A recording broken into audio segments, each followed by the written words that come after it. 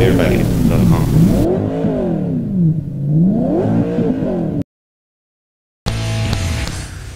Now this is what I call beautiful weather for playing with trucks out here today. Isn't any weather that? Yeah, that's a very good point. Hey, welcome back to Truck U. As you can see, the truck is done. It's all put together. We got the bed back on, so she's looking normal, right? It fits again. We didn't mess anything up. No, not at all. Now it's time to get it out here in the elements and have some fun with it. Let's play with kind of the, uh, it's the payoff for all of our hard work, right? Well, I- I'm just anxious to see if, how this whole thing is going to work. You know, I'm used to having to go over there and man, do manual labor and actually crank the thing up by hand and lower it by hand. So I'm a little skeptical if these bags are going to be able to lift that heavy trailer. Listen, don't worry about a thing. I know you're I know you're a little bit worried, and I'm gonna put your fears at ease. You know that's what happens though. You back up and the hitch is a little too high, you've got to crank on that thing, right?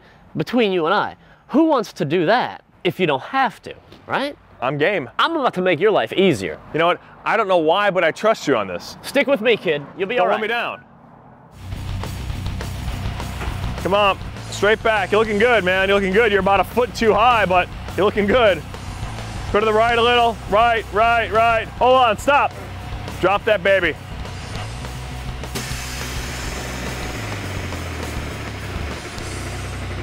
All right, man, hit it.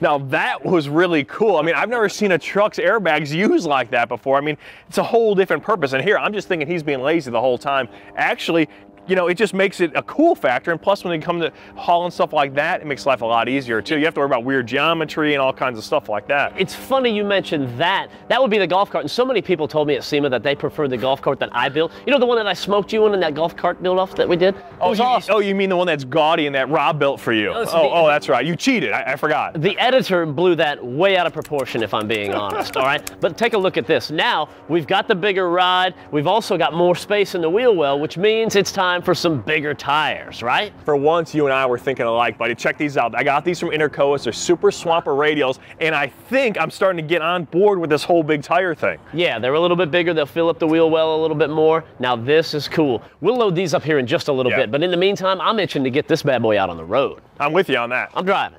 Of course.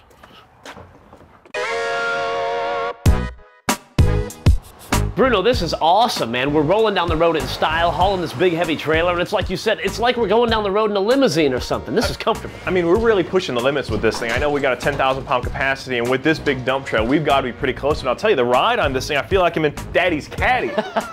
It's like luxury meets utility, is what I'm thinking down the road. I have a new concept. Every project we do, airbags are on it. That's what I'm thinking. that I'm down with, buddy. All right, that's all the time.